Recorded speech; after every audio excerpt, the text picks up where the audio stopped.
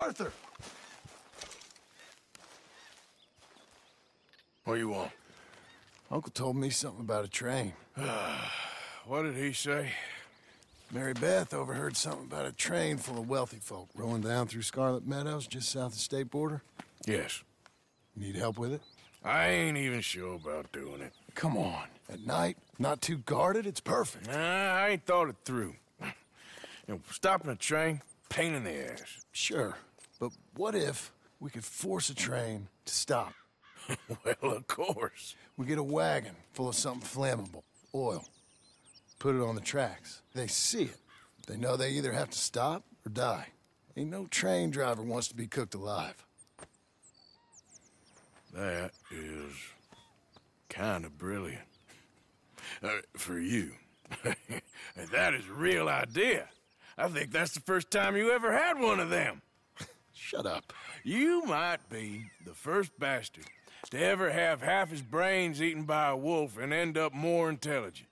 So we doing it? Yeah, we're gonna need ammunition, guns, look real frightening, and some dynamite to open up the train. I'll get the supplies.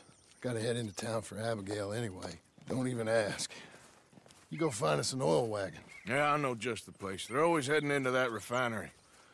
There's an old rundown shack just over the border, north of a place called Dewberry Creek. Leave it hidden somewhere near there.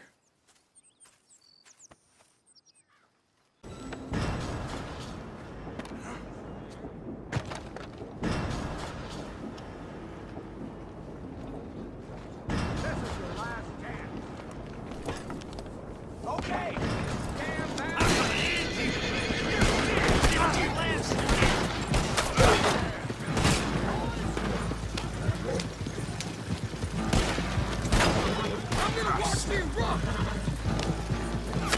No more joy.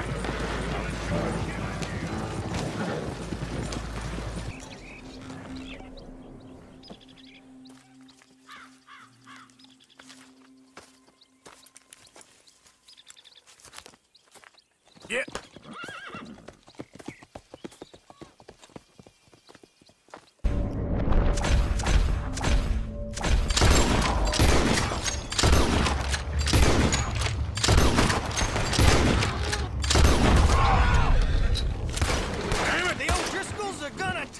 everything you got.